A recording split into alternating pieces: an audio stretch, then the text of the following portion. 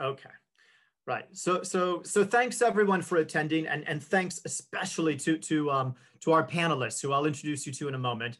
Uh, I'm going to go ahead and start with with a uh, uh, screen sharing a PowerPoint introduction that allows me to introduce the session, but also introduce the three of them. And then we'll open it up to each of them to give a brief presentation before we go to questions and discussions with the audience. And, and, and we expect this to be a rather dynamic and, and engaging discussion. So, so, you know, get your comments and questions ready. So, right. So when we were putting together this session, we were having a few discussions. One of the first things we thought was, what is the Great Debate? Um, and obviously this is a series that EGU runs every year around the Great Debate, so that's where the name comes from. But one thing that we're quite keen on conveying is that um, we're not going to debate whether or not there is discrimination in our discipline. Um, and we are not going to debate um, our obligation as, as members of this community, um, nor as organizations, whether or not we have a role um, to play in addressing that. We do. We, we have a responsibility, and we're going to take that as read going forward. We also discussed where we sit in the conversation. I think we all agreed that this is not meant to be the start of the conversation.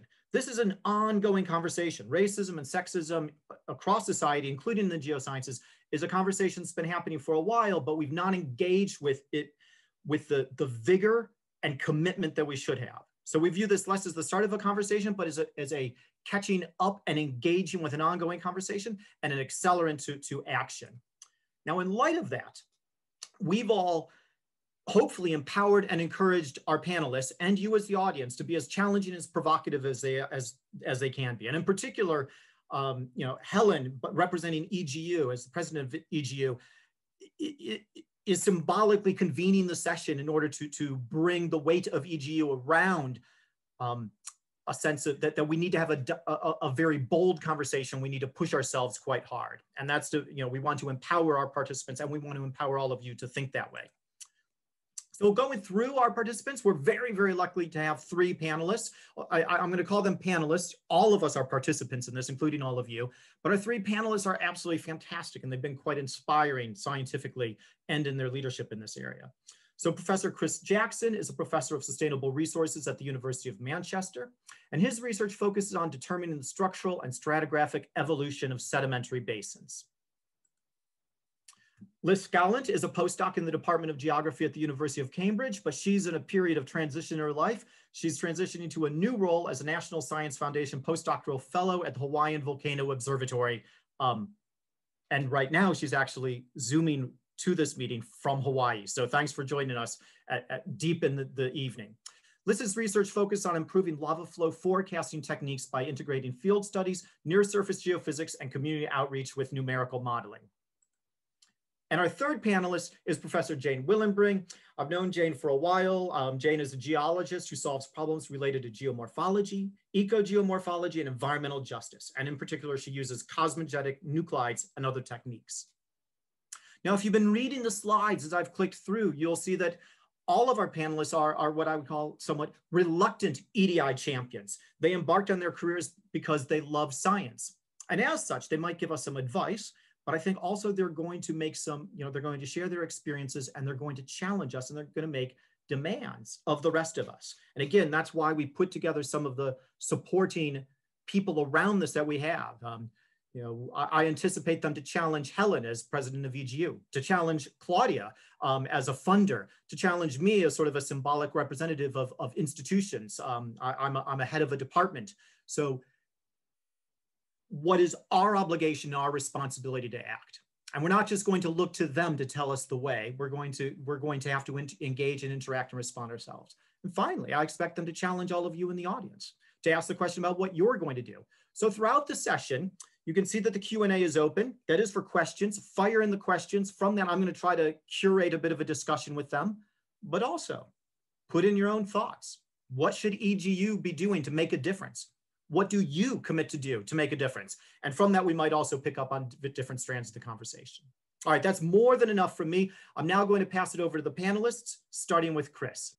Right, okay, over to you, Chris. Well, yeah, thank you so much for the invitation, uh, EGU, to come and uh, talk today.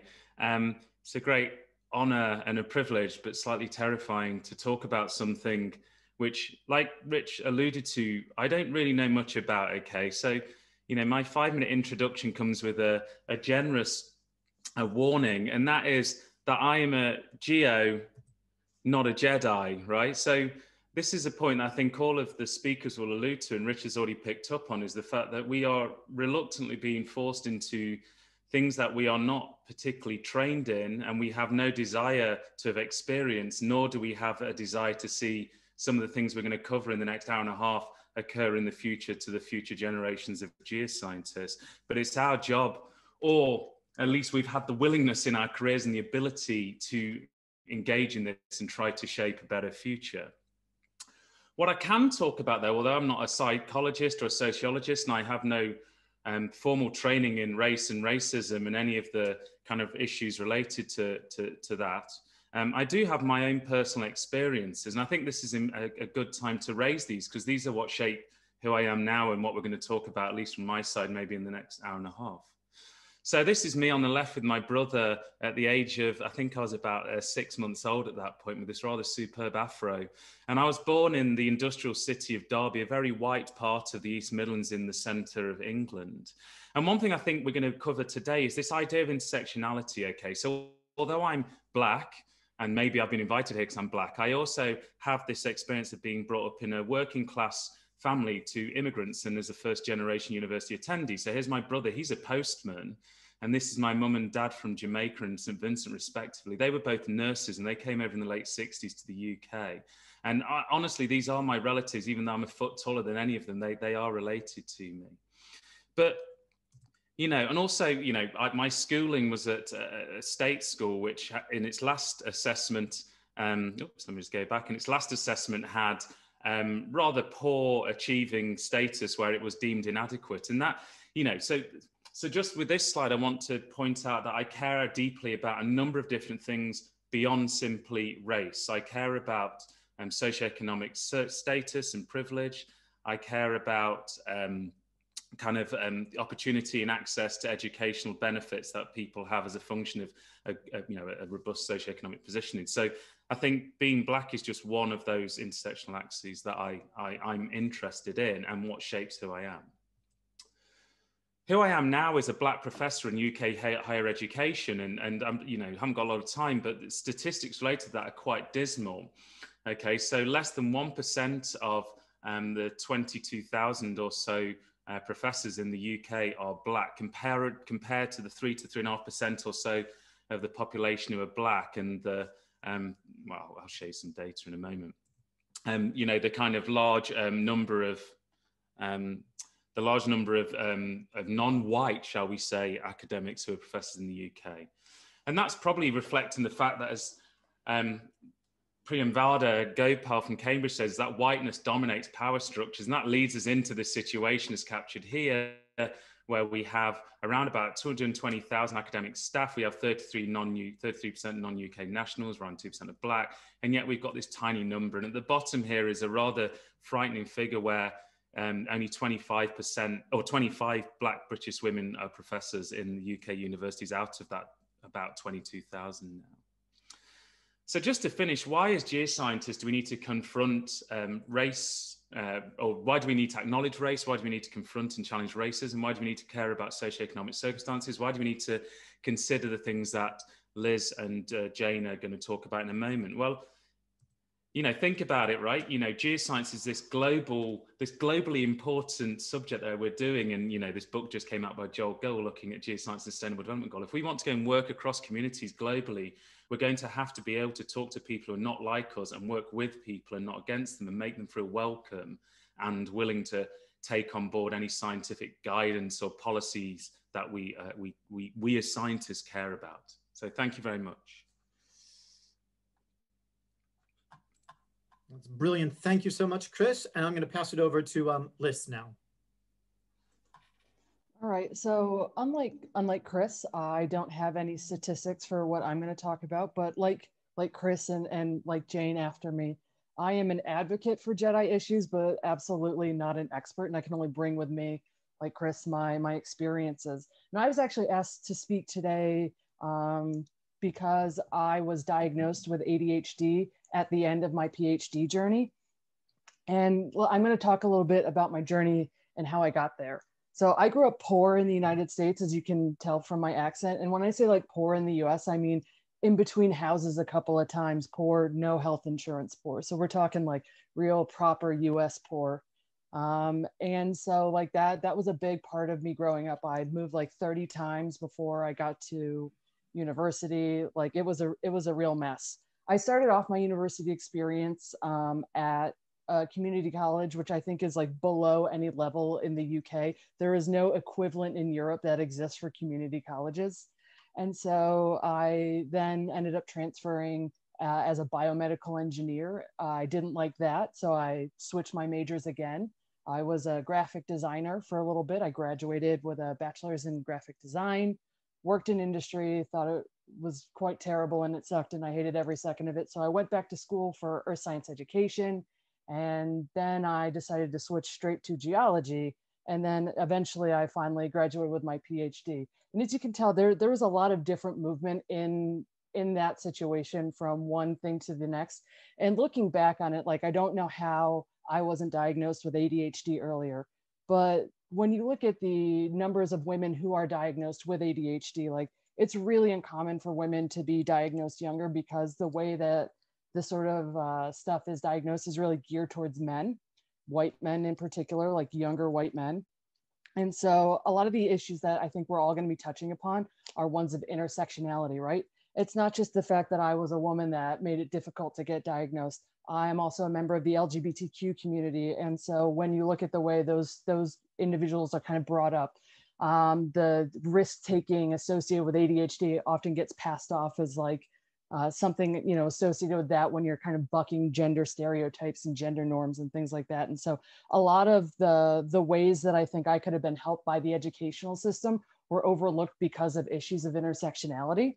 And so I'm just gonna, I guess, leave it at that. But I want to uh, actually give a shout out to the 900 year old man that finally helped me get diagnosed. So it was like the last class I took as a PhD student in the US, we take classes as part of our, our degree program. And I randomly was asked by, like, when I say this guy is old, I mean, he's crypt keeper old. He got his PhD before plate tectonic theory was actually like fully established. Like, he, I'm pretty sure he was on the Titanic, but this old, like 900 year old man uh, you know, invited me to his class because you know he heard me give a talk and and he was really engaged by some of the things I said for whatever reason. And then he would read my writing and he's like, "This is really terrible compared to the way that you deliver, you know, the words and like engage in the concepts." And so I don't know what is wrong between the way you think and the way you write, but like I don't know, you, you need to see somebody about that. And so like one professor paying attention to different clues about how I thought like that's what got me diagnosed. It wasn't, you know, any of the systems. It wasn't any of my advisors. Like it was some random professor that cared. And it was one, it, it was a professor who you wouldn't generally assume would be the person to kind of push you towards that. And so I am definitely gonna probably uh, challenge the way that that you guys engage with your students, those of you who are uh, in academia throughout the next hour and a half, and, and we'll see where it goes from there. I think I've rambled enough. It's three something in the morning. I think it's time for Jane, who is not too too much further in front of me time wise. That's great. Thanks, Liz. Over to you, Jane. Hi, well, thank you everyone for inviting me to be part of this. This is really um, an important conversation to have, and I feel really fortunate to um, be able to talk about it. Um, so I, I, was asked to be on the panel um, because I was, uh, the, the backstory is that I was harassed as a graduate student, and um, that was back in 1999, early 2000s, and I filed a complaint um, a couple, almost a couple decades later in 2016.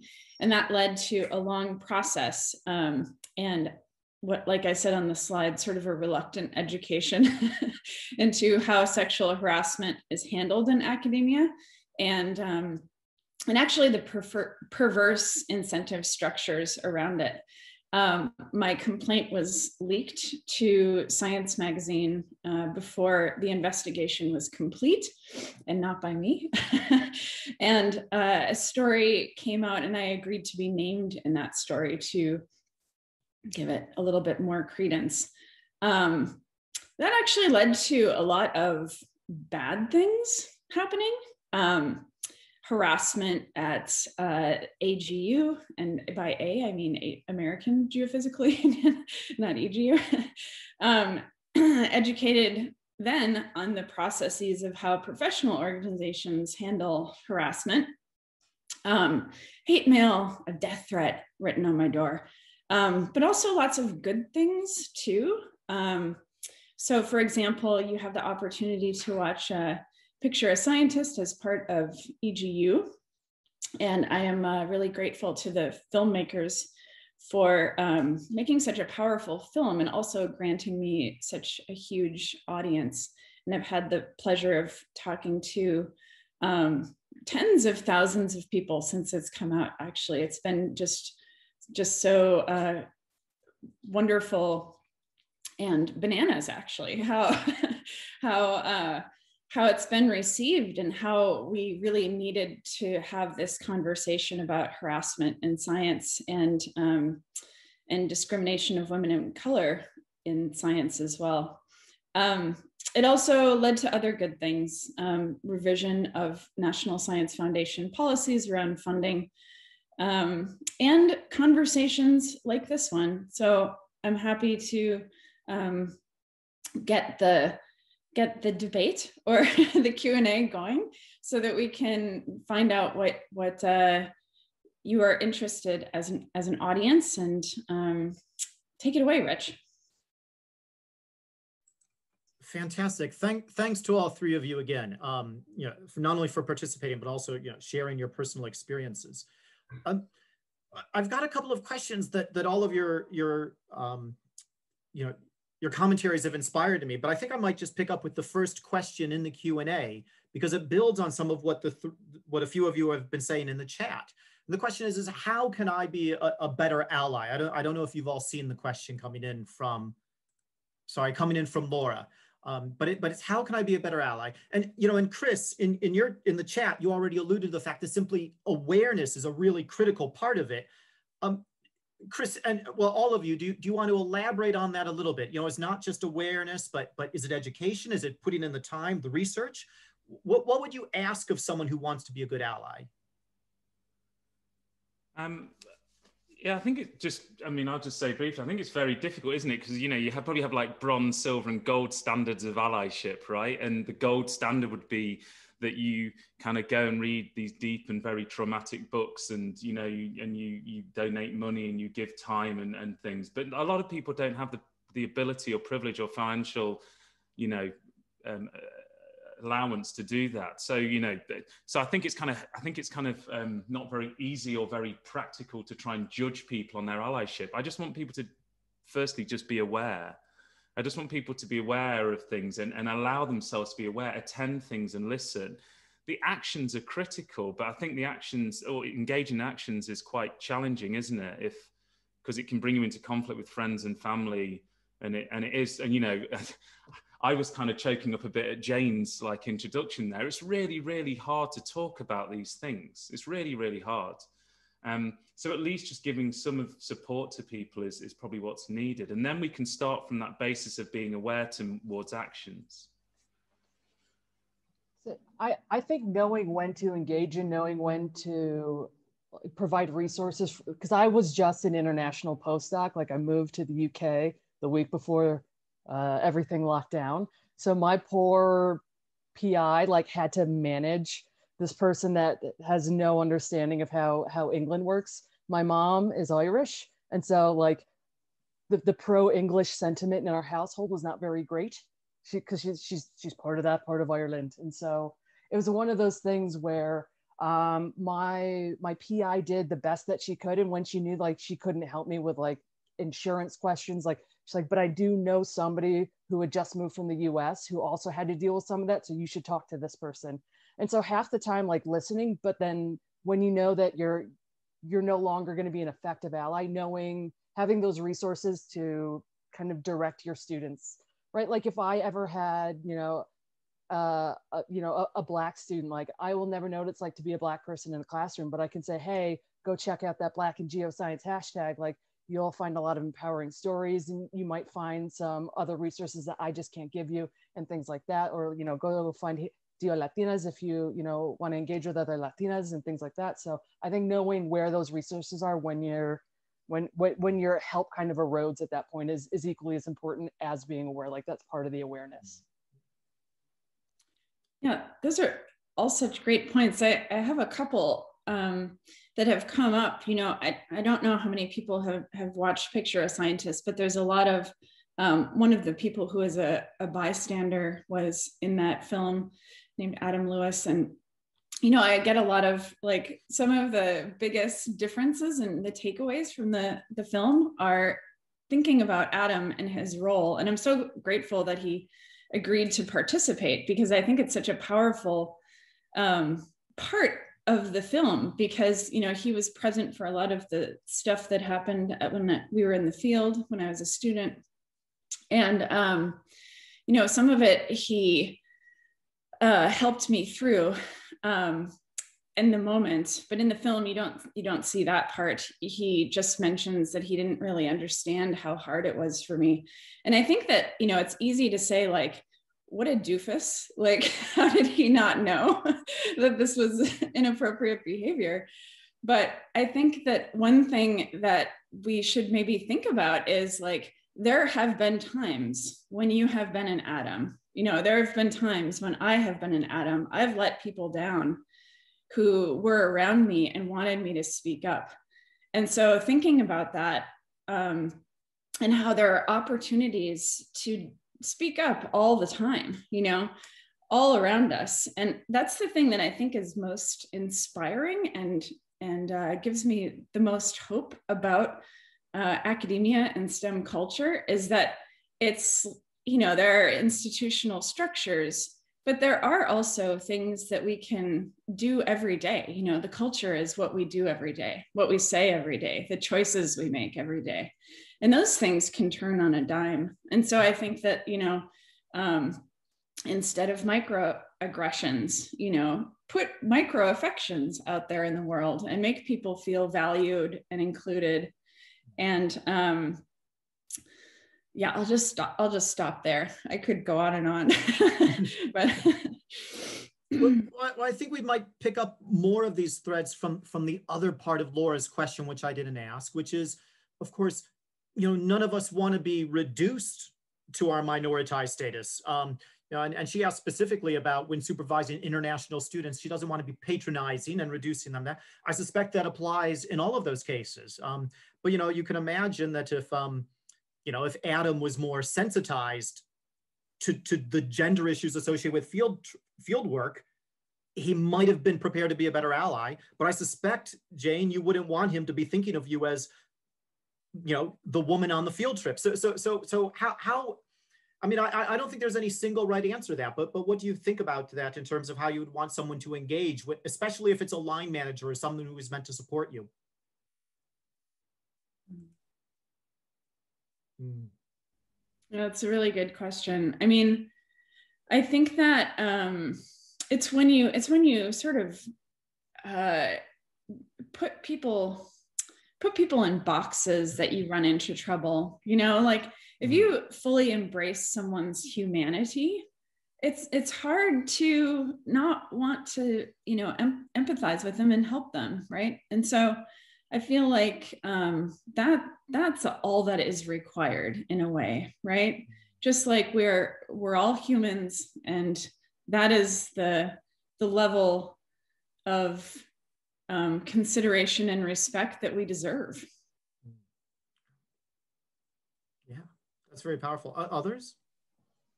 I think just like just being yourself, right? Like we all all of us on the, the conversation before we had a practice session and it was like me at 4.30 in the morning which is slightly better than what it is now and I, I very much came as myself and it was one of those situations where because i had you know like it's you know Chris and Jane, who are very well known EDI folks and Rich, and then like randomly me somehow. It was one of those things that because of their the way that they carry themselves pub- publicly, like I didn't even it, it wasn't even a question that like I could just show up as myself. And so like by being yourself in a position like fully yourself, right?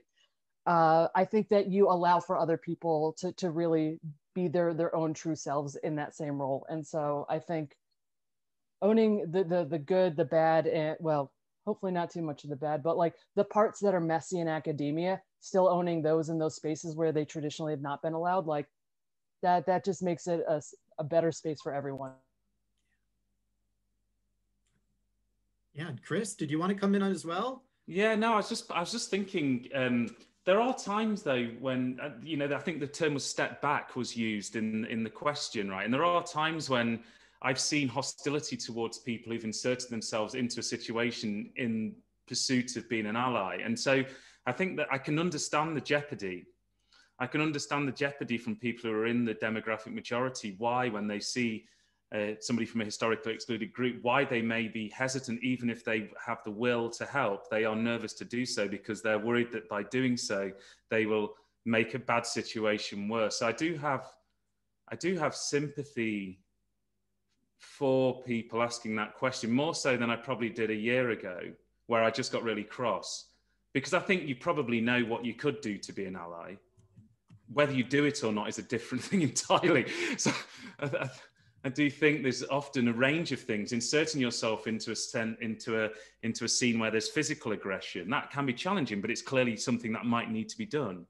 Um, telling somebody that that term is inappropriate to use because it's discriminatory you know there's no physical threat to you to do that but you might have to come up against a colleague who's more senior to you to raise that point but it's clearly something you could do to assist and act as an ally and it's and it's i guess i've said this before but i just want people to do something brilliant it, it, so there's a, a, couple of good questions coming through um, I, I, see you know I, I see addison's question about how we move this forward in, in Europe. And I want to come back to that. But while we're on the conversation of allyship, I think, you know, I think Daniel's question is very relevant to what we've just been talking about, um, in that there is a reluctance to report when discriminations take place. Um, how can academia do better at, at supporting that? I suspect all of you have thoughts about that, but but I know Jane, this was a real challenge for you um, in terms of when you felt free to come forward and talk about this issue. And you alluded to that in your opening comments. So I'm wondering if you could kick off a response to that. Yeah, I am. Um, you know, I get asked to do a bunch of panels for departments and and um, lots of uh, individual events, and you know, there's there's usually some sort of you know department chair or something in the audience who says like make sure everybody reports. And they're they're kind of sad when i say no it might it might not be a good idea to report. I mean it's it's a really um, that was something that was incredibly surprising to me uh, that even after i waited until i had tenure until i had um, you know perceived status as as a, a tenured professor, um, I had nothing to gain or lose really uh, through reporting, and still the reporting process was just absolutely brutal, um, especially uh, with people knowing about it. I mean, imagine living your entire life and and trying to be honest and good and create a reputation that is deserving of respect. And then to take that and to hand it to people who have no care in the world what happens to you. It's it's uh, like pretty traumati- traumatizing actually. and the thing that was uh, bizarre to me is that I had no idea it was like that. As an academic, I had no idea. You know, I'd heard about Title IX procedures or like the process by which we um, complain about harassment in the United States. And um, I always kind of thought it was a court of law. And here it was actually done by people who could be fired if they don't come down on the right side of the professor. And so, you know, students are looking at this. Um, and now I look at this from a perspective of all right, the student is going to have to go through this traumatizing reporting period. Then they might be retaliated against. In fact, they are retaliated against in like 95% of uh, reports of workplace uh, harassment. And then uh, nothing is probably going to happen to the person that they report on. And so, like, people aren't, students aren't stupid, right? They're making a calculated decision not to report. So, what we have to do is to flip it. We have to make it known that things are happening when reports do come in, when these when these brave students um, actually report on something, we have to tell them, like, this is what happens to people. I don't want to see a flow chart in a bathroom about how to report. I want to see a flow chart on the wall of a bathroom. Here's what happens if you discriminate based on race. Here's a little arrow to fired. I want to see a little arrow to fired on a flow chart when someone, um, you know, sexually harasses a woman um, those are the flow charts I want. I don't want to hear about how people can report because we don't handle them properly when people do report. Yeah, honestly, a lot of that reporting structure is to cover the university and not the individuals harmed. Absolutely. That's, all I have to add. Nothing, yeah, yeah. nothing positive. Human, human, resources is cheerleading for the for the institution often, right? It's to kind of, and we've seen that at Imperial College, institution I just left, right? You know, bullying, harassment, it was all proven, it was all reported. Uh, you know, non-disclosure agreements were signed. People had to leave the institution, but not the people who perpetrated those incidents. So it's like, why would you? Why would you bother? So I, I just wanted to burst into applause for Jane's point there. I want to see transparency and the accountability really I, I, don't want things squirreled away in rooms and, and people to disappear quietly i want i want it to be known as a minoritized person that if i report then something what will happen? And if something happens i want everybody to know about it because that will encourage more reporting i think. And, i guess that's where jane where you were going with your point is i think it I think it builds confidence in the system such that more reports will come forward, and then I suspect it will be floodgates will mm-hmm. open it, opening, right? Yeah, yeah. I mean, I'm also, you know, kind of reminded of like the role of leadership in this, you know, and the quotation that I think is so powerful is this one by Gruenert and Whitaker. The culture of any organization is shaped by the worst behavior the leader is willing to tolerate. And that is so true. And so if you think about you know how did you do as a leader? Well what did you tolerate? What happened under your watch? It's not the good things that you do.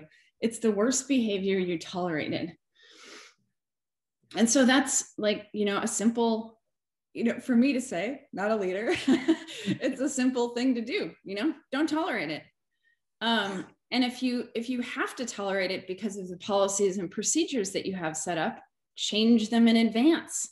Don't get caught. Yeah. Yeah.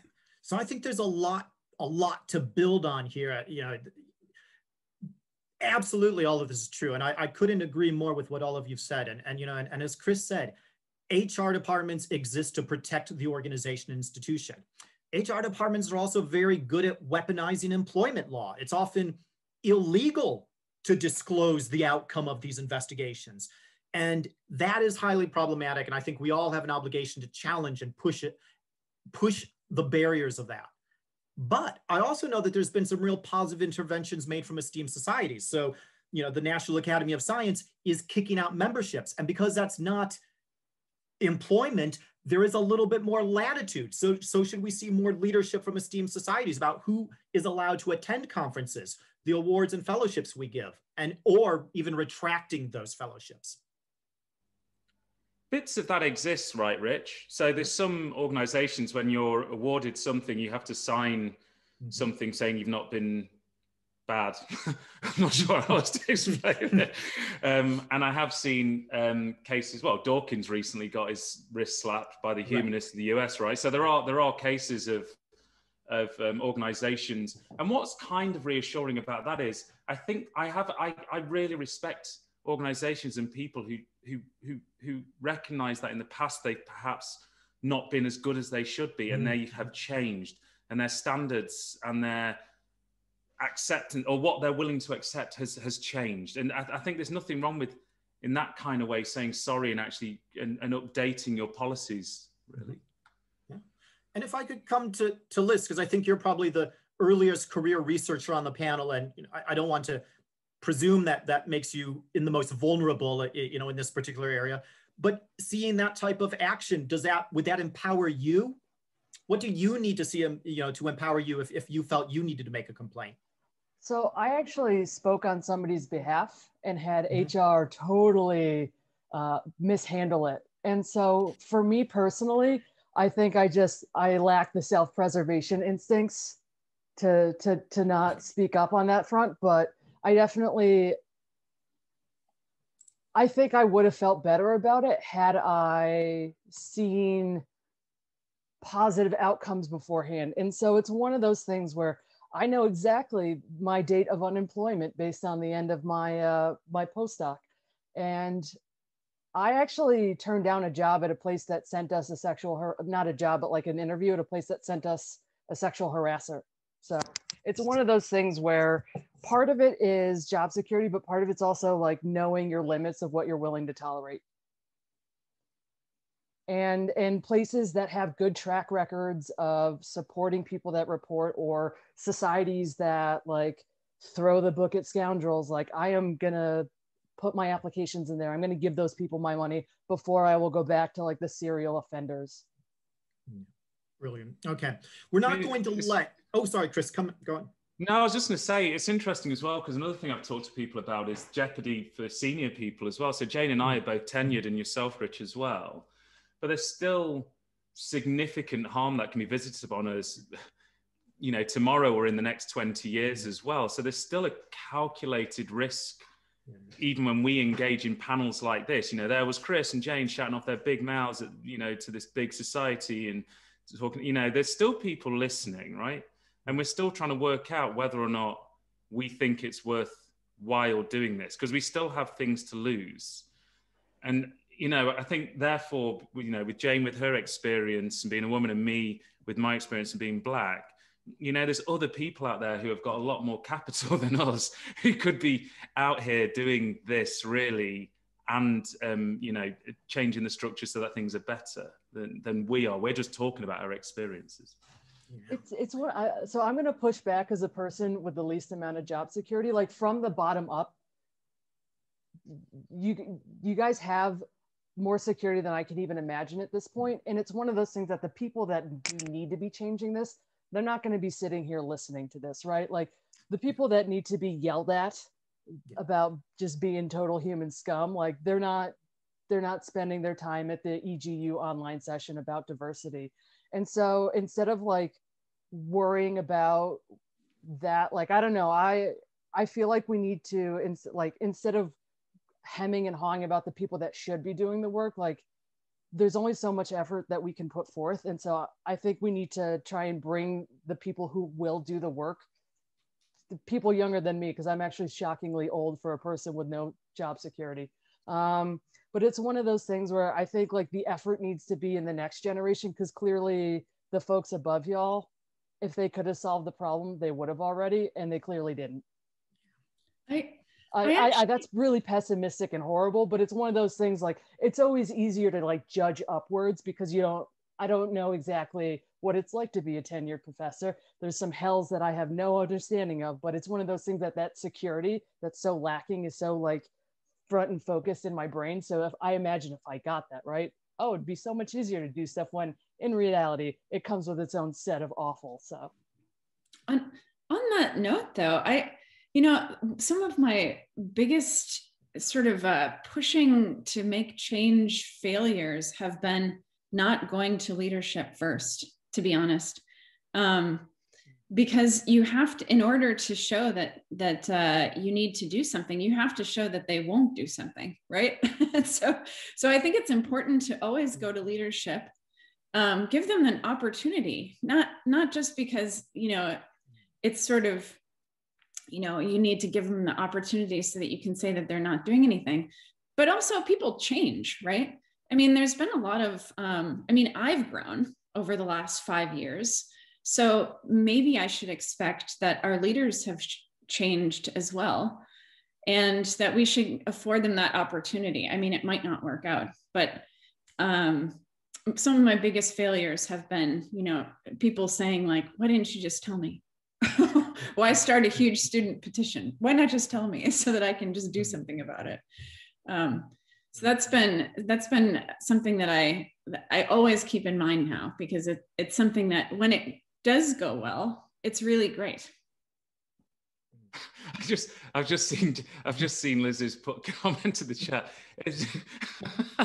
about trust. You know, like sometimes it's just such a huge trust deficit in a system and in people. Whenever mm. people want to squirrel me away into a corner and have a private in ear chat, it's sometimes trying to dampen the fire, and sometimes it's it, you know so.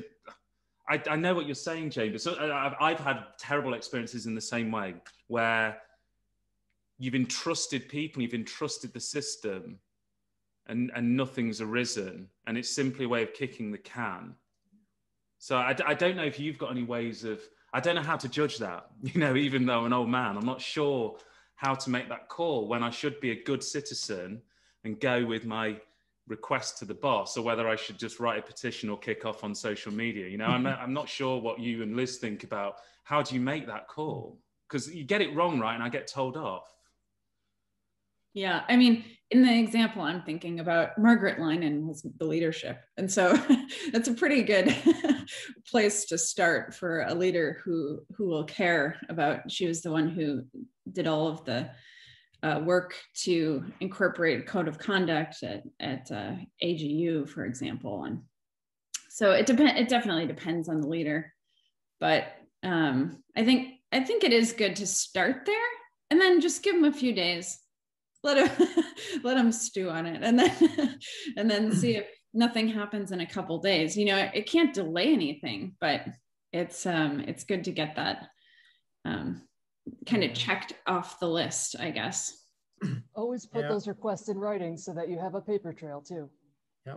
And Liz, do you want to do you want to elaborate on the point you you put in the in the um the chat about um you know I tell you you know one of the reasons you know I do tweet as much as I do it's not because I'm perfect. It's not how I know what to do but it's basically to put myself expose myself right as a leader and and and therefore to make myself accountable and and and hopefully then it, it empowers other people to trust me right? So so i think your point about the obligation of leaders to somehow even if it is only performative to simply show that they're that they're that they're someone you could trust is really really important but what do you what do you look for in that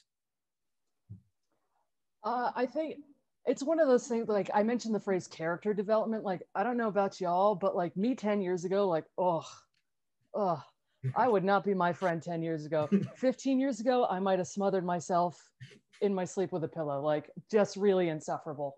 And it's just one of those things where I think I look for admission of like, oh, I was wrong, like mm. humanity almost, right? Like mm-hmm. it's it's mm-hmm. one of those things that people can admit when they're wrong. Like I don't expect anybody else to be perfect because like anybody that knows me knows I'm far, far from that sort of creature, but I just expect people to like admit when they're wrong and learn.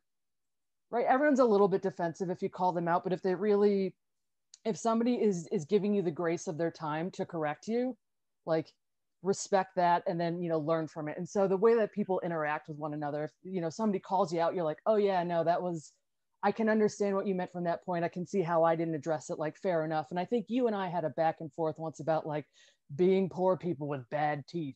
And I mentioned my like awful experience with the mm. NHS. Like, I'm so sorry to all the British people, but for like mental health issues, if you're coming from another country, the NHS was not great for me.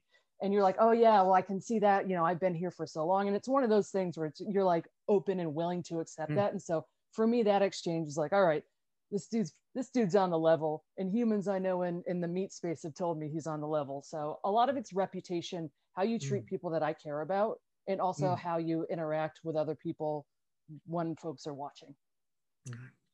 Yeah.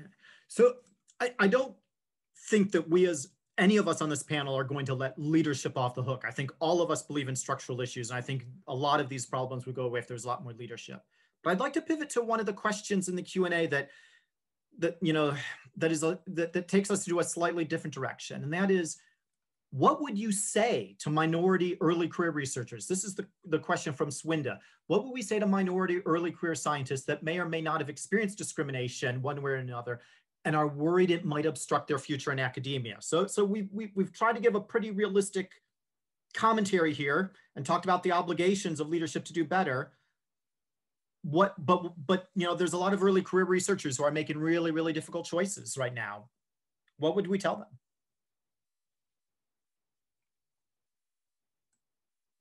It's a very good question. I, I, guess I'm never a big fan of trying to advise the people who are the least powerful in these situation to do anything to kind of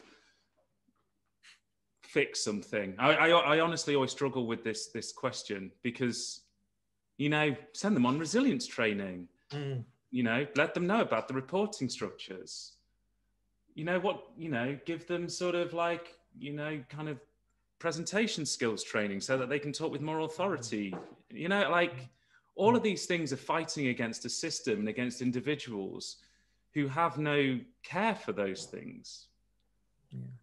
And, and I think I think again Liz just put down about doom and gloom in the chat. I mean, yeah, I always feel a bit doomy and gloomy whenever I try and think about how I think awareness is one thing. I, I, I, guess one thing I can say that's positive is I think the question was, I've not experienced it yet. Yeah. What I can say to that person is be aware that it happens. Mm. You're in this session, therefore you're interested. Be aware that it's happened. And then maybe, maybe try and find practical ways of, of addressing that. Like I gave a session last week for URGE on self-care, you know, and that's really important for me is being aware of how I can look after myself physically mentally to allow me to progress scientifically. Mm because that's what I, I am, a scientist. Um, so maybe there are some practical things to do like that. I, I don't know exactly what, what the subtext or wider context of Swinda's question is, but I must admit I read it as I've, I've got a choice to make about whether I continue in this career. Can you guys give me some positive news that things are getting better? Is, is, is this great debate evidence that things are getting better? Or is it too soon to see whether or not we can really change the system? So I, as a young, as an earlier career person, it's hard to see any future in academia with the way that the pandemic has like totally cratered out the job market. Not gonna like, as a person on the job market, like, it, and I'm even more comfortable than most people who have postdocs. I like magically got one while I had one mm. that I applied for before the pandemic, and like money fell out of the sky somewhere just for this one job.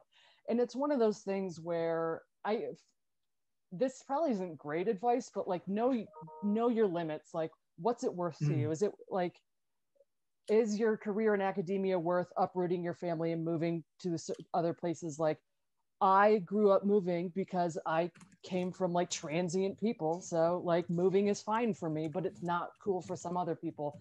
And so, like, knowing the things that you require to make you your life livable, like, don't don't sacrifice those for your future in academia. I know that's not the advice you're probably looking for, but like I moved and it sucked over this last year. And so I like made a, a bunch of really rash decisions and now I'm way happier. I don't know if they were the right decisions at the time, but they seem to be working out now.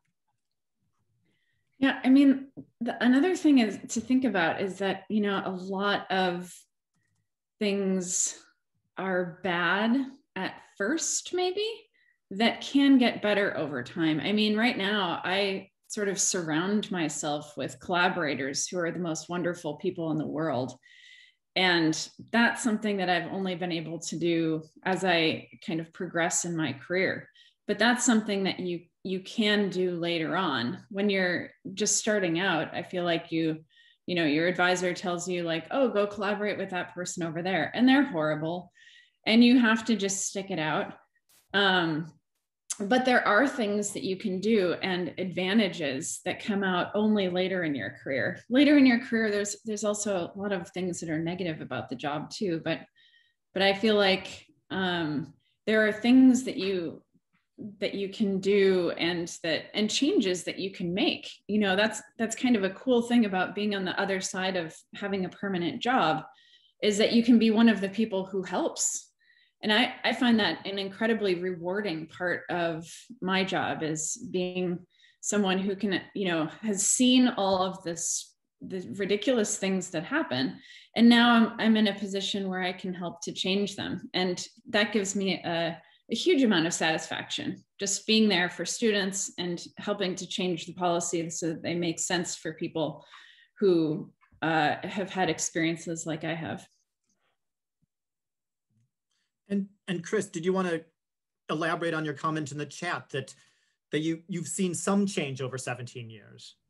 Yeah, I've been in academia about 17 years, and I think that um, one improvement, if it can be called that, is that these conversations are happening more publicly. You know, they are brought up at staff meetings or faculty meetings, as they call them in the US. Um, they are on the great debate at EGU. They are kind of, you know, AGU had EOS um, last month or a few months ago, which was dedicated to diversity inclusion. Granted, a lot of this was precipitated by the death of George Floyd, but you know, there's a catalyst there. But at least those things are happening now, and I'm hoping that we can't put the lid back on the box now. That these these discussions are going to keep on happening in more and more forums and in more and more public spaces. And also, I think um, I think. Uh, kind of Liz and Jane have both touched on this, like going back to the the generation before me, even, and the current PhD students, and having having them hear this, right? Having them hear that these things are inappropriate, having them hear that some senior people, Jane and myself, and yourself, Rich, you know, we do feel deeply um, passionate about this, and we want it to change. So those PhD students will see that and and feel like there is a better future out there, despite you know some of mine and Liz's grumpiness, at least in the in the answers. You know, I, would like to think that there is some positivity out there. I mean, yeah, I, I, I will pivot like from my my like bag of salt misery.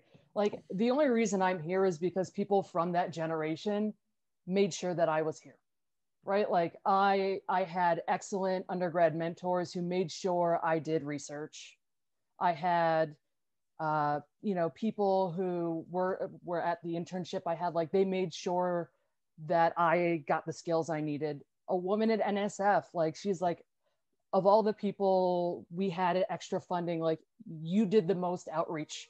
We need more people like that. Like that's why you got that fellowship, not like all other footing. Like so, as much as I grump about y'all, y'all olds, like you're not even that much older than me because this is my second career, but I'm you know still uncertain but it's one of those things that as much as i grump about that that cohort like those are the people that made sure i was here. And so i think finding those people like don't don't waste your time on the turds. I'm officially not friends with liz anymore. Yeah. Yeah exactly. Um you know there's another thing like friends. i don't want to be too i don't want to be too rosy about this you know like I totally alternate between like, you know, joy in my profession and like total spite, right? And it's just like, mm. you know, when the joy is gone, like it's like, who are they to kick me out? You know, like who are they to tell you that you can't be in this profession? You know, that's ridiculous. No one can tell you where you can and cannot be. Come on. So it's one, but like when you're like, I want, I want that job and then I can, you know, they're they're currently telling younger folks that you cannot be here by not giving us jobs. I know. Yeah. yeah. But that's not that's not your guys' fault. So like that that that pivots away. It's one of those things that when, when you're at this career stage, your level of misery oscillates, like how bitter you feel about a job rejection. I'm currently on like hospice care for a job I know I didn't get, like waiting for the rejection. So like I'm at the bottom of the trough there for that like grumpiness. So I apologize. But I think um, um, I'd like to think though people like yourself, Liz, and other people are really vocal in a more junior career stage. There are people out there more senior who deeply, deeply want people like you in the academy. Right? I, I mean, give, like give who CV. are actually No, but it, but it, but you are actively out there looking for people in terms of collaborations, in terms of jobs with you know. I think, and I and I and I said again, you that question, what has changed in 17 years? I suspect 17 years ago that might not have been as common, but there are people who are who are out there who who who, who value that vision of academia as much as all the fancy papers and the and the and the and the, and the stack of money. So I really yeah, want it, to keep beating that drum to make it you know, maybe it's just me and Jane and Rich, right? But there are people out there.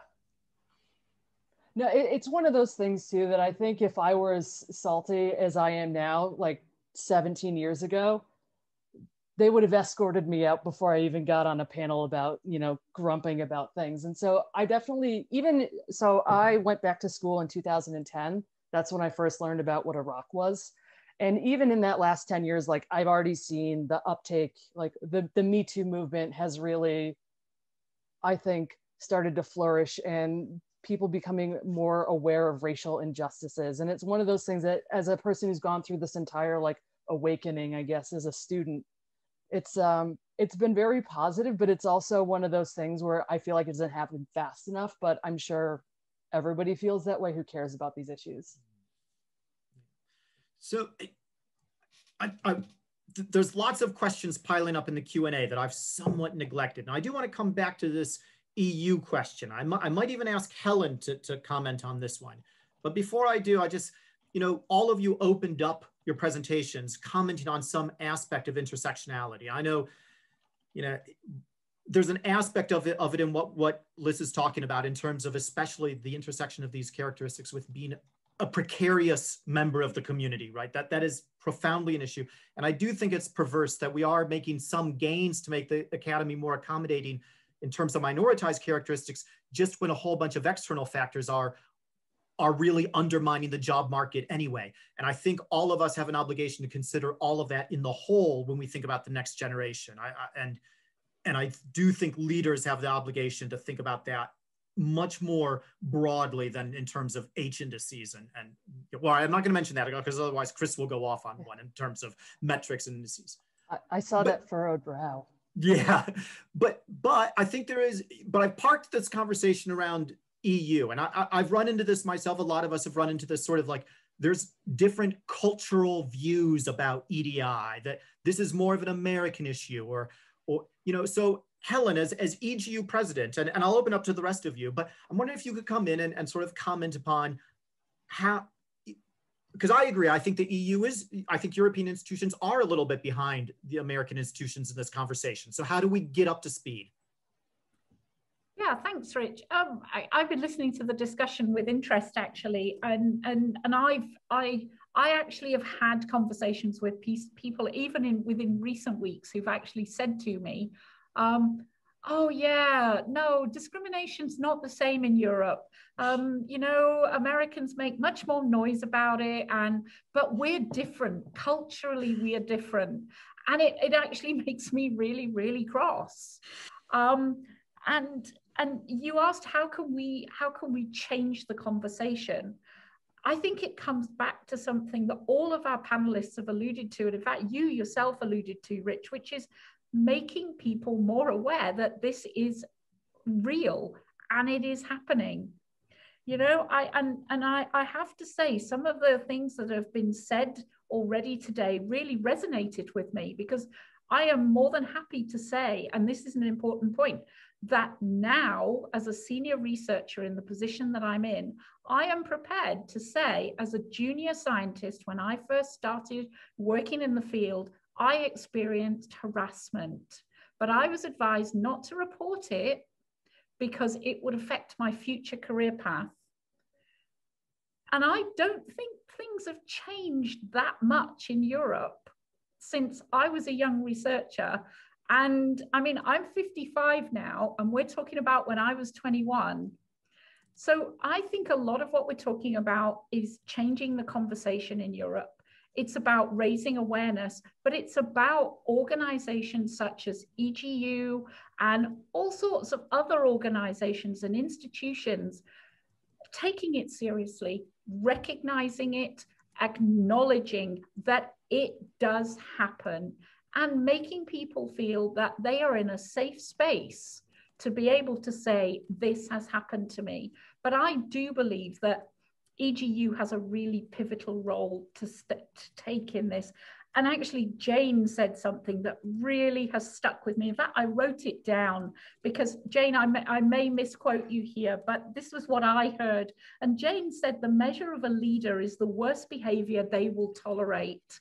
Well, I'm sorry, I, one of the reasons I was keen for us to have this discussion in this space is for me, it is zero tolerance. And I want to make sure that organizations such as EGU are holding this up and saying, this is not okay. It is happening and it is not okay, and that we won't tolerate it. And I do think that's the role that organizations can play.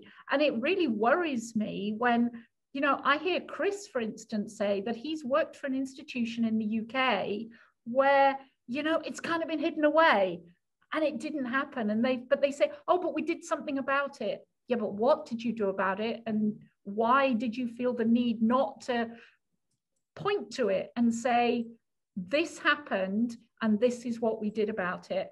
And that's what we need to do in Europe. We need to be less scared to point to it, give it a name, and say it's not okay.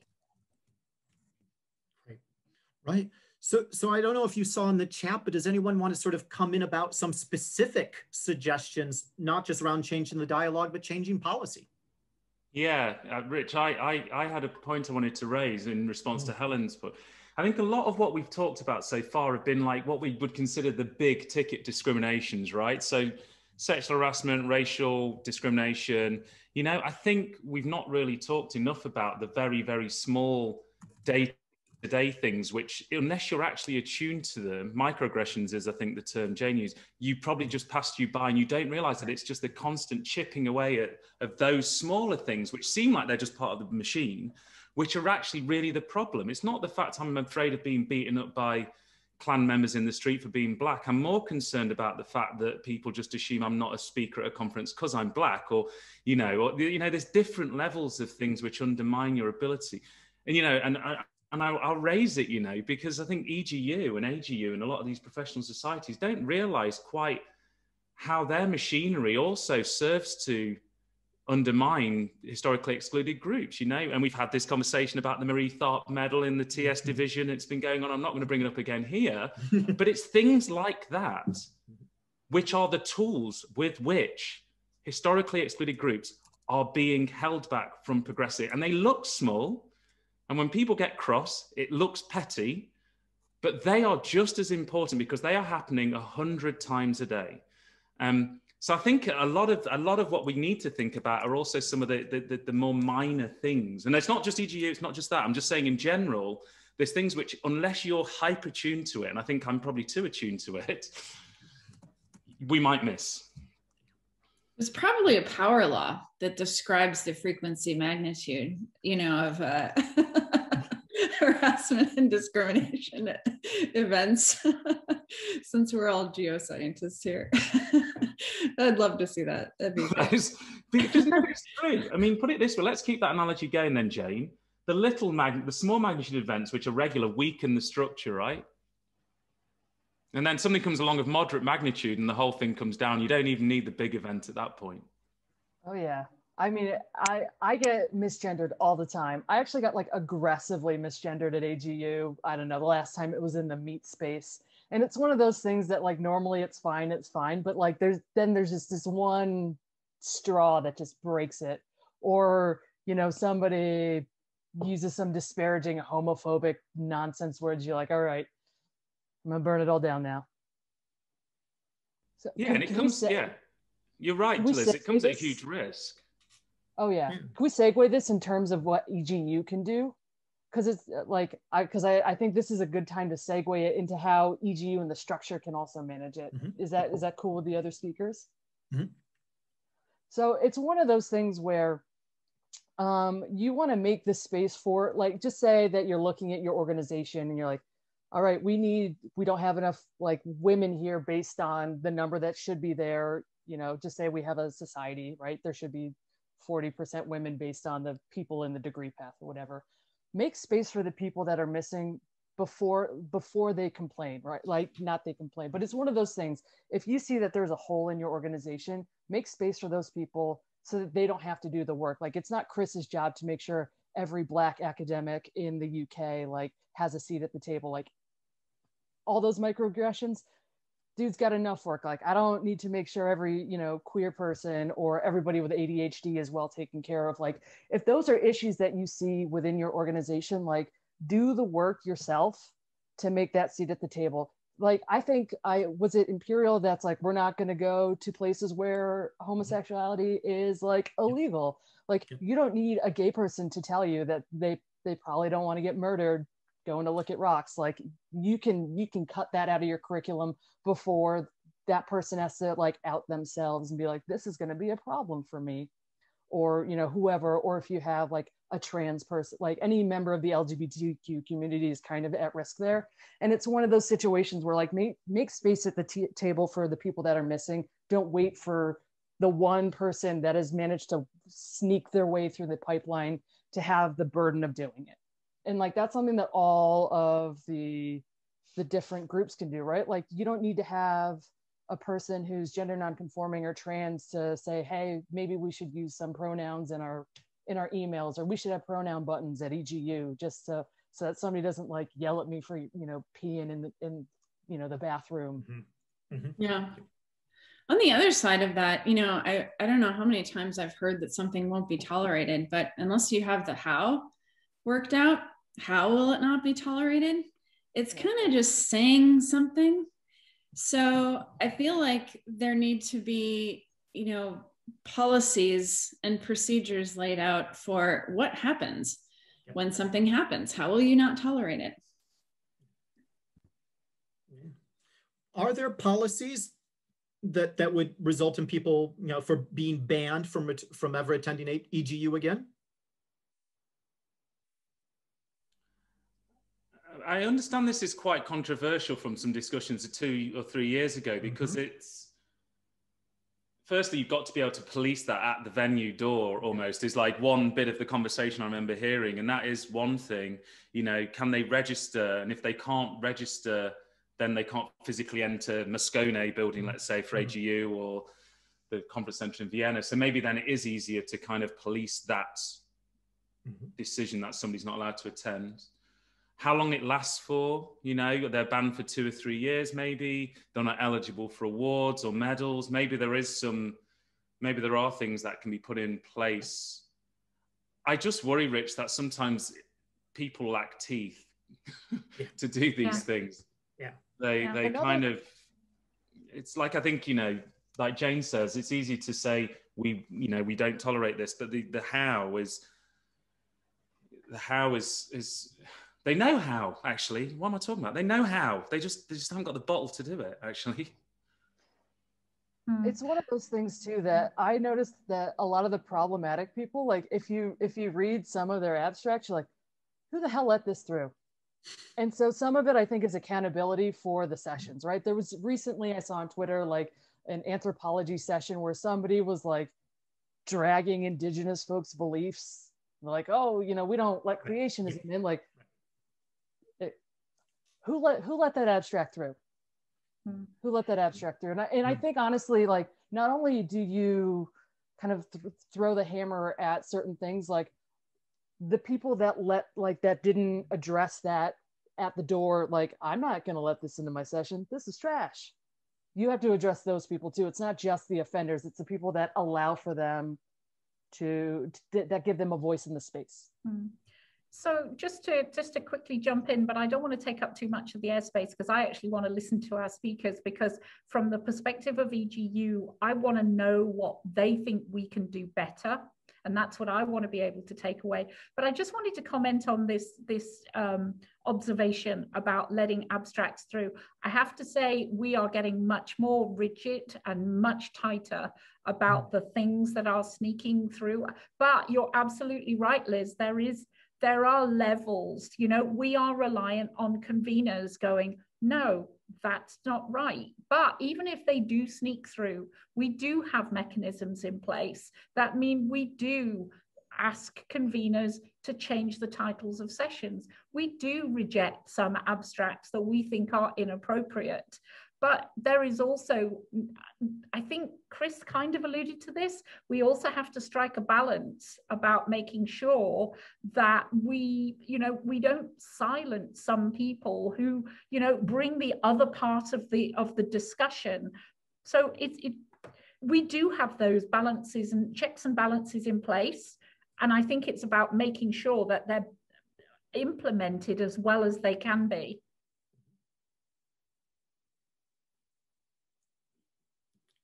Right. Did anyone else want to come in on on any of those particular issues or have other comments about EGU? I mean, I, have got some questions piling up in the Q and A that I can circle back to. Right. So, well, oh yeah, go ahead, Jane. Sorry. Oh, I think one of the things that that AGU has done that is really pretty amazing um, has been to, you know, pay for students' legal fees or some legal consultation, um, which is a, a big commitment on their part. Um, I think that we could do more professional organization wise in terms of the passing the trash situation, whereby people harassed at one institution are fired or essentially fired and then just move on to another one. I know one individual who's moved four times now, every time gets a promotion, a raise, and more power. And now is leading a, uh, a research organization. And so, you know, what what can professional organizations do about that? You know, could could we have some sort of list of people who have been accused. And so when you are going to you know get put someone up for a job can you check a list right? Can you just do a background check that people agree to when they apply for the job? Is that something that we can do? I mean this is something that has been bothering me for a long time. You know we look at the catholic church and how they move priests from place to place continuing their abuse. And frankly we do the same thing so I think it's one of those things where not only do we need those in place, you have to make sure people actually do them. So there was a guy who was at Idaho State University who groped a woman after she had like had a very traumatic experience. And this was known, like this was written about, and he got sent to the University of South Florida, like, and nobody did the background check. And so even though you had like, I don't, his name is Herb Maschner, there's a whole story about it. He is an absolute scumbag, and I don't mind shaming him publicly. It's fine. I'm fine with it. But it's one of those things where it's a situation where you have to have those in place, but we also need people to enforce it. Like the fact that nobody did the background check, like how many postdocs is that? How many scientists, like, you know, how many jobs is that that you could have gotten for the millions of dollars you threw at this guy? Like, how many scientists aren't going to get to be academics because you hedged your bets on the scoundrel? Yeah. So I want to maybe pull back and consider the geosciences as a whole. There is a, you know, Helen replied to this talking about how legally problematic, especially across borders, it is to compile lists. But if anything, Helen, I think it means it's all the more important to have clear policies such there is a clear and transparent decision. And of course, maybe that only captures a small number of people, but if it's on the public record that someone has been banned from EGU for three years, that is, is indisputable fact. That's actionable. Um, so I think that, you know, there, there's elements of, of moving that. But, you know, there are a lot of comments in the chat about drinking culture at conferences, beer culture in, in geosciences. We all know about the issues around field work. It's a discipline that was, you know, basically founded on basically colonialism and toxic masculinity, if you go all the way back. Um, are we talking about a problem in academia, or does the geosciences have a particularly acute problem that will need particularly acute interventions? Yeah, I think I'll, I'll, just comment briefly on that. We cover this in this paper, which is coming out in Nature Geosciences by Dowey et al. So we got all this mm. data around uh, representation of ethnic and racial minority groups in the UK. And so that was the conclusion we came to in that paper is that there is a set of things which are society wide and academia wide which are barriers to mm-hmm. uh, historically excluded groups, but then there are things which are very specific or amplified in the geosciences. And you picked up on two of the ones that we covered there, Rich, which are the colonial past, the masculinity, and the and the kind of culture and some of the obsessions around things like macho things like field work. Yeah. Um, so I think there are some specific things that we need to tackle in geosciences, and, and they're being written about, and they're well known. And again, it's a case of just getting on with fixing some of these issues. Yeah. Anyone else want to come in on that one? That's such a tough one. I mean, some of the reasons that geo the geosciences are are great also make it some of the reasons why it is hard to fix. You know, I mean, I think that the um, the field work aspect, field work by nature is just, you know, you find a mosquito in your cornflakes while you're camping and you flick it out. You find a mosquito in your cornflakes when you're at a restaurant and you send it back, right? There are different standards for how we behave in different situations. And I personally love the different standard where we behave differently in the field. Um, but somehow we still have to treat people with respect and professionally, even though we are in sort of a more informal environment where you talk about going to the bathroom and you know? And so I, I think that we do have a bit more of a challenge in that respect but i also think that it's one of the the the things that makes the geosciences really amazing and wonderful to study is is that kind of um, experience and camaraderie that frankly like you know a chemist doesn't have that right? So so, so maybe building on that theme, I see that we only have 10 minutes left. So I, I think I'd best come back to the three of you for some just sort of concluding reflections and, and such. Um, I don't know, basically, uh, to forewarn you, I'm going to babble for a few moments so you can get your thoughts together, but I'll, I'll go in reverse order. So Jane, then Liz, then Chris. Um, but you know, literally any sort of reflections on what we've spoken about, or maybe things that you think that we've not spoken about um, that you want to sort of finish.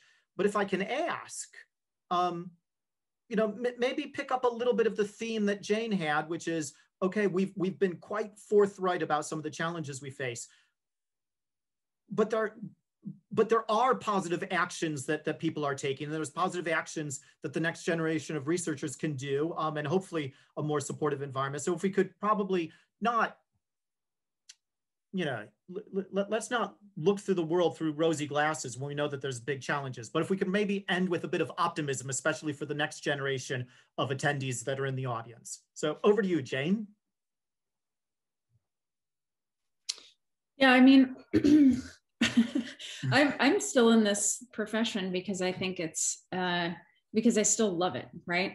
And I think that uh, you have to keep in mind uh, why you got into the field when you did, and that there's a lot of good, um, sort of easier aspects once you are a bit more senior. You're less um, at the mercy of people that you know have been doing bad things, and you can be part of a culture change. And to me, that's that's really one of the reasons why I have stuck with it. I will also say that, you know, there's so much focus on having students have um, a lot of persistence and resilience skills. And I think that we need to really build up different skills through the the period of being a graduate student and then and then the postdoctoral training. I think there are other things that we have not flexed in terms of skill creating, like working in teams, for example, um, that are, are things that I think we can we can focus on in the future. Thanks very much, Jane. And Liz? So I think one of the things that is a real kind of pitfall for a lot of people working towards a better future is burnout, right? Like you can only read so many stories about harassment or you know doom scroll through twitter and see so many like microaggressions it's one of those things where i think my advice would be to vary the way that you kind of expend your energy you can like burn it down one day but the next day like if all so i i try and vary. So sometimes it's about changing the system, and then other times it's about building up other people who will also who are part of the system that you know I think should exist in the in academia. And so that's the way I think I, it, I have found to fight burnout is by uplifting other people while still like you know bringing shame to where shame ought to be brought and try and vary the way that you you you hate and love things simultaneously. Because i hate the geosciences and i love it at the same time. I tried a million different jobs right? Like i had like four five different majors and and this is the one for me like the worst day in academia is still better than the best day as a graphic designer for me hands down. And i just try and do at least one thing a day that makes uh, this job better for other people. Sometimes it's big sometimes it's small but i think everybody's got to do their part. It's not just the people here. And that's something you could bring to people who may not be like part of the conversation at this moment right? Like you can empower them to make those small changes so that it's a little bit less burdensome for the days where you need to make the big ones thanks that, that's very that's very powerful Liz thanks very much and chris um, yeah, it's a difficult question to answer. Um, I guess it's probably worth for an early career researcher bearing in mind why they got into the subject in the first place. It's an, geoscience is, is very, very important, as I touched upon in the last comment in my presentation at the start. You know, it's globally significant. It can save lives and livelihoods. It can empower people. You know, we have an incredible job to do, an important job to do. And presumably the early career researchers right on this call or not. You know they've chosen it because of some aspect of that right? They're curious about the world and they want to use that curiosity to make the world a better place for people. And so keeping yourself tied to that initial stimulation for getting into it is really important. Now that doesn't really address your question of why they should be positive because again that's something that they're bringing to their experiences they're going through the academic mm-hmm. ranks i think what i would do to answer that specific question is just go back to what I said earlier on. There is an increasing body of people, I believe, who are passionate about things outside of science, quote unquote, right? And that is, or academia in terms of just raising money and writing papers. There are people who are equally as passionate and view the value for science of being inclusive. Okay, so I don't like it when people separate off like well there's science and then there's this thing about G- G- jedi right over here. I see them as the same thing because otherwise we run the risk of excluding hugely talented people who will make bigger contributions to science in the future. So they're not separate things right? So i encourage those early career researchers to try and i don't know if ride those two horses is an american phrase but try to kind of handle those two things the science and the things they like doing but also um, the other stuff, you know, just being a good human being, just treating people with respect. Like think about how you make the work environment a better place, and through that you um, you you you befriend people and you meet i think jane said this you meet amazing people liz says she was too poor for horses plural growing up we don't have horses in the uk um, so yes i think that's um, that's what I would say is, you know, bring that bit of yourself with you and then be aware that there's a growing body of people who care about other things and, and want to make academia and geosciences an awesome place. Brilliant. Thanks so much, Chris. Um, and yeah, I'm going to wrap up and pass over to Helen in a moment. Um, apologies to those of you whose questions I wasn't able to, to bring in. I, I think we got a, a, lot of, of what you were asking and commenting on, and, and definitely keep the conversation going if there was one question that that I wanted to have time for, I didn't wasn't able to come back to. It was um, circling back to a comment that Chris made in the beginning about how to be a good ally. And of course, as as you've heard, there's so many different dimensions to discrimination. All of us need to be allies to someone. Um, and of course, Chris said, you know, there's a bronze, silver, and gold standard, and you know, not all of us have the capacity to, to be, you know, to put all of the time and investment in gold. But I think we have to ask all of ourselves what is the bare minimum for bronze the bare minimum right what is the bare minimum to avoid the types of issues that Liz was was mentioned about being misgendered what is the bare minimum that we are required to understand to basically be not even activist allies but to simply create a, a, a welcoming environment in our discipline And I'll, I'll leave that with all of you to ponder. Um, and I'll pass it over to Helen to sort of wrap up.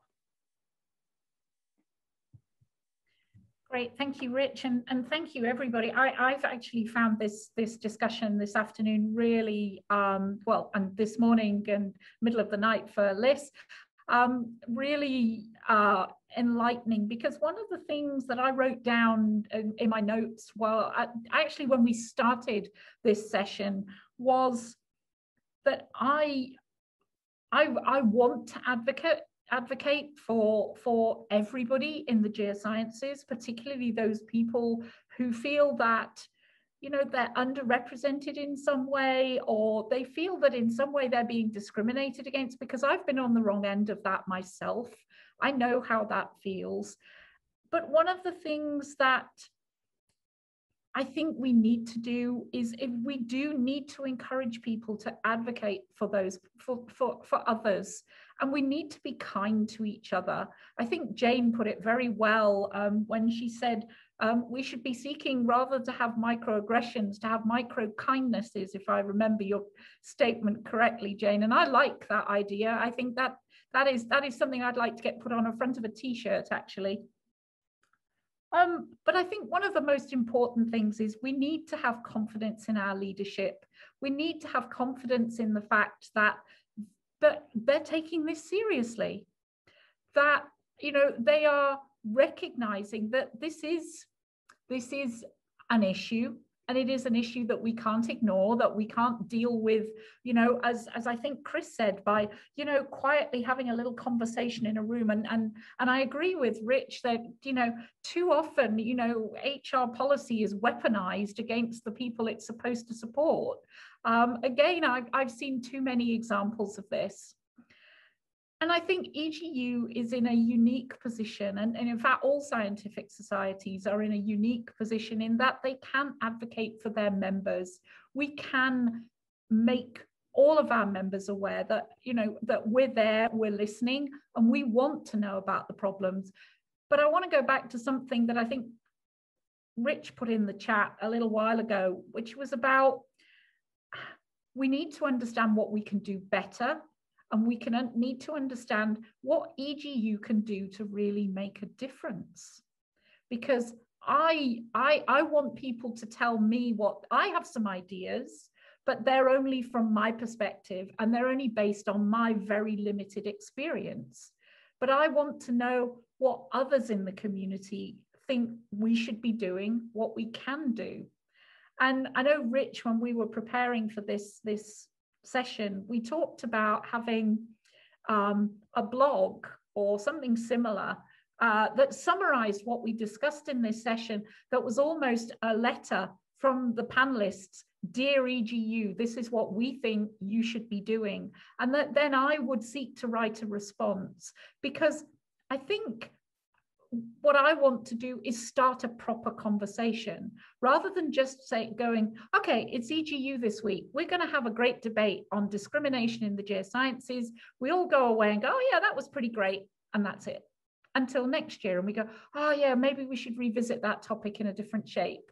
No, let's carry on the conversation. So again, I'd like to know how we can carry on that conversation and what we can do to make a difference. Because as I've already said, one of the reasons I wanted to become president of EGU is because I want to do something about diversity, equality, and inclusivity in the geosciences. And just listening to our three fantastic panelists today highlights why this matters so much. And lastly, I would say if you haven't watched Picture a Scientist while it's available, do. It even reduced my husband to tears, and that is saying something. So I would like to just thank all of our panelists and also Rich. Thank you for some fantastic moderation. Um, and thank you all very, very much for being part of this, this fantastic discussion this afternoon. Thank you.